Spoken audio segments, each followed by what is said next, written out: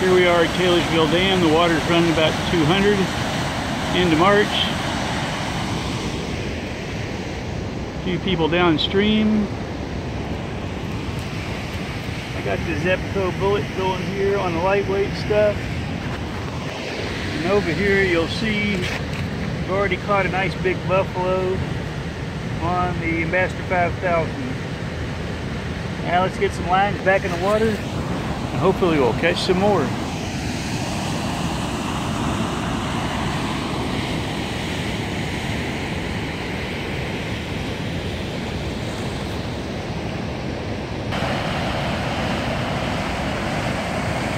Beautiful day.